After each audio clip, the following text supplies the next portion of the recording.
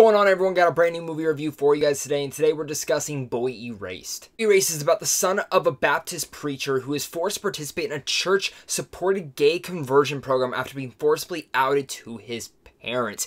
Now, this is a biography. This is based on a true story. It's very much drama, and it's directed by Joel Edgerton, the man who did The Gift, which I, I'm a big fan of Joel Edgerton. I think he's one of the most underrated actors in Hollywood today, and he did such a phenomenal job with The Gift. I was looking forward to whatever the guy was going to direct and write next. This is obviously his sophomore outing, and man, it, it, it's brilliant. I, I found this film to capture so many different lights and levels. And what I think this film did so well is that it is very much based on this true story. It's telling this story, and it's very much this drama.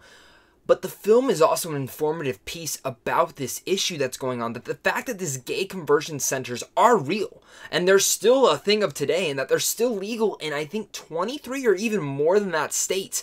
That is ludicrous to me. I'm pretty, maybe it's even 32. I'm, I'm not 100% sure, but it makes you want to dive in after watching this film and look into more of the subject matter and what's going on after seeing what this character and what this person dealt with. Lucas Hedges does play the main kid in here, and he is so good. I mean, Lucas Hedges, when he showed up back in Manchester by the Sea, that film blew me away, and he was the big standout for me personally in that film. And again, I think Lucas Hedges adds another film to his resume of being a fantastic actor. He's a young up-and-comer, but he has so much emotion to show.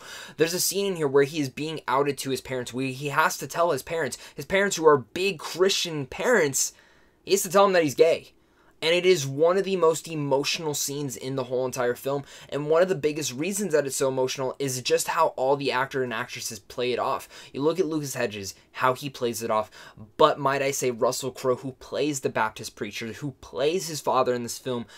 I gotta say, I think this is Russell Crowe's best performance of his career. And I've seen a lot of Crowe performances, don't get me wrong. I know he's one of the best actors working today, but my god, he is so phenomenal in this movie. It blew me out of the water how damn good Russell Crowe was in this movie and how he just emphasized.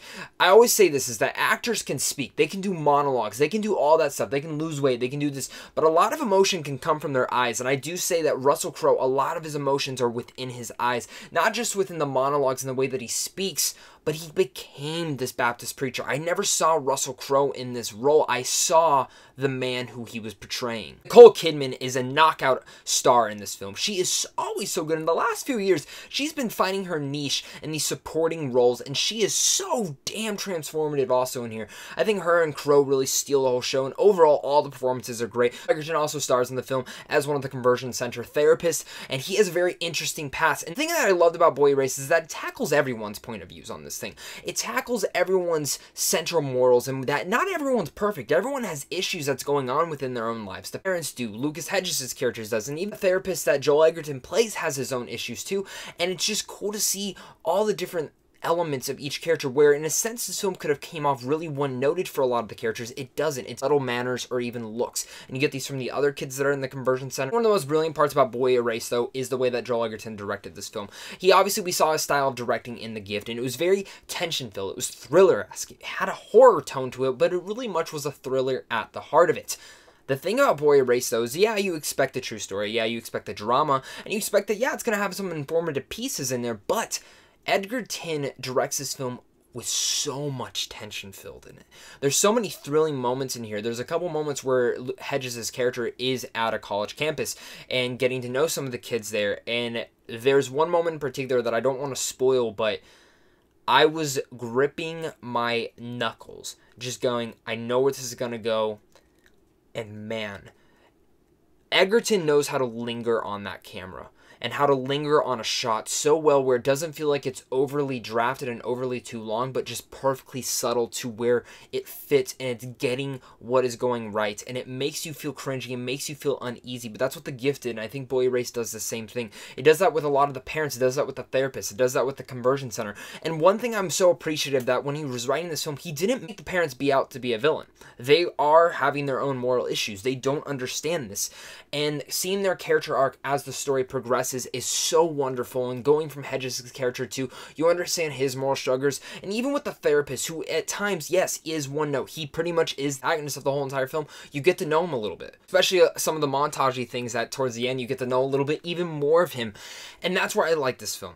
I think Boy Erased is a brilliant, informative, true story drama that is such a needed film that needs to be seen. There, the, the fact that this, these convergence centers aren't more on the news is utterly insane to me. But this is a film that needs to be watched. It needs to be seen. It carries some of the best performances of the year, and I wholeheartedly hope this film does not get trampled under all the other Oscar films coming out. It needs to be pushed. For cons, though, I will say this: um, some of the song choices were a little bit too cheesy, a little bit too cheesy. But I thought the score was brilliant in a lot of parts. And the film does drag in some moments, but I thought the dragging needed to be there to get you invested, and it got me invested in the story. A little bit, one too many flashback moments, but those are really just nitpicks. I, I, I wholeheartedly recommend Boy Erased. It's easily one of the best films of this year. So with all that said, I'm gonna give Boy Erased an A minus guys, what are you guys' thoughts on Boy Erased? Have you heard of this true story? Have you read the book? Have you seen this movie? Let's talk about it down below in the comments because that's what we're here for. We're here to talk movies, we're here to interact, and have just a lively discussion down below in the comments. Tell me what your guys' thoughts are, and of course, guys, if you guys are new here, consider hitting that like button and even consider subscribing so you guys never miss out on a movie review. Plus, if you guys want to check out some movies early, hit up Sandwich John Films also because right down there, again, you guys can go see movies early, can check out some movie news, and even some movie reviews. But guys, of course, until next time, stay classy. Thank you.